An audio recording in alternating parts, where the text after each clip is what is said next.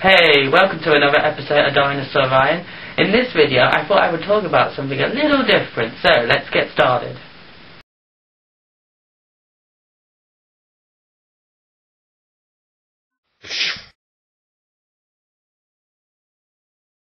So at different times around the year, there are these special events that take place.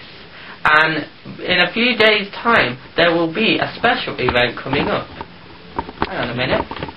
What's that?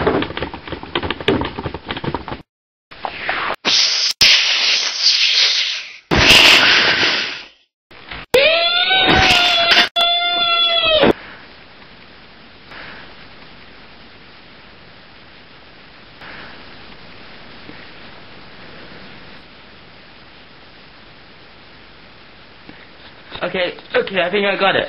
Okay. Um, that was bizarre just got hit on the head by a meteor. That was fun. Right. Anyway, as I was saying, as you do when you get hit on the head by a meteor, um, there are these special events that take place throughout the year, and they are meteor shower events. And we're coming up to another one, quite a big one. It's called the Geminids.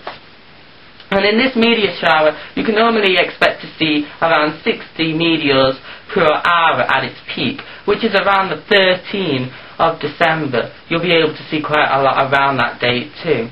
Um, and the meteor shower starts off um, a few weeks before and it will end up a few weeks after, but that is when you'll see the most meteors. But of course it does depend on the weather and how bright the moon is, and unfortunately for this year it looks like it's going to be quite a bright moon that will be coming out this year. But um, it's something that you can bear in mind for other years if you want to see meteor showers. And then, of course, there are other meteor showers that happen throughout the year. But this is a pretty big one. So I thought I would just talk about that.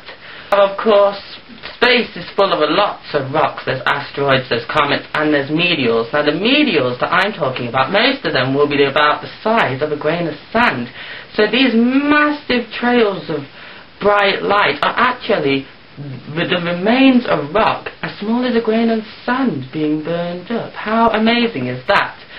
Of course, though, you do get odd rocks that are about the size of cans and sometimes as large as cars that burn through the atmosphere. In fact, Something that's similar to that that hit my head just a minute ago actually falls through the atmosphere about every four hours. And also people have actually had their cars and their houses hit by meteors. And some people have actually been hit by real meteors on their heads and yet survived the impact. It's absolutely crazy, but it's true. So it's something I thought I would just talk about. So, of course, it is known that it is most likely that something like an asteroid or a comet crashed into the Earth, or maybe more than one, and it did kill the dinosaurs. So it does link into other topics I talk about. But it's great to be able to see events or events throughout the year that take place that can show us that space has a huge impact on Earth. So it's just something I thought I would talk about. I hope you like it, and I hope that if you get to see any meteors, you'll have a great time looking at them. I'll be trying to film some or taking some photographs. I have tried in the past, but I have kind of failed, so um, don't expect something amazing coming up in the next few weeks, because I probably won't be able to capture anything. But, you know, it'd be fun to see if any of you guys see anything. So uh, I hope you like this. I hope you enjoyed it, and I will see you guys later very soon. So I'll see you. Wait a minute. What's that? What's that? Ah!